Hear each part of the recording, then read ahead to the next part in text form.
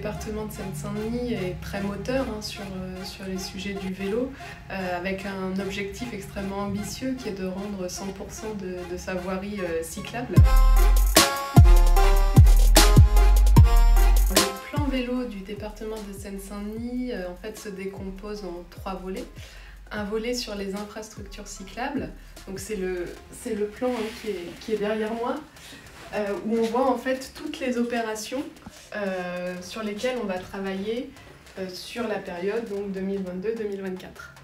Donc tous ces projets-là en couleur, on va mener une étude pour essayer de venir insérer des aménagements cyclables. Alors sur le plan vélo, il y a également un volet sur en fait le fait d'apprendre aux gens à faire du vélo et par exemple on fait des actions de vélo école ou des ateliers d'auto-réparation euh, auprès de certains publics, notamment les collégiens.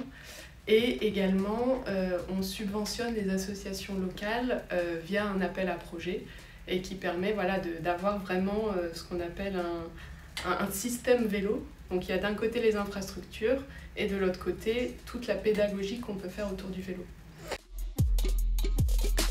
Alors à court terme, on travaille donc sur, sur une dizaine, vingtaine de projets euh, une série de projets assez structurantes en ce moment, c'est les aménagements cyclables temporaires pour la desserte des sites olympiques.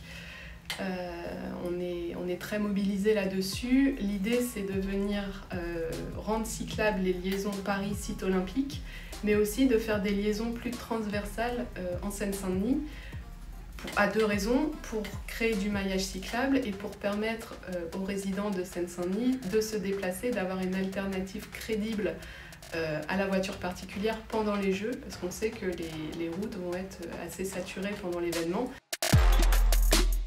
Les prochains grands objectifs euh, pour le département, ça va être de poursuivre le développement des réseaux structurants tels que le RER e vélo ou le réseau métropolitain, mais aussi de venir euh, mailler en fait ce réseau cyclable, notamment autour des futures gares du Grand Paris Express pour permettre en fait aux gens de venir à vélo jusqu'à la gare, laisser son vélo à la gare et développer une politique d'intermodalité, de pouvoir se rendre dans toute l'île de France avec le, le réseau de Grand Paris Express.